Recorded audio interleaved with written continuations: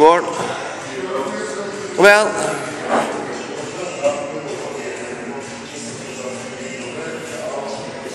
Og kom igjen. Kom igjen, kom igjen. Lett. Oi, kjempebra.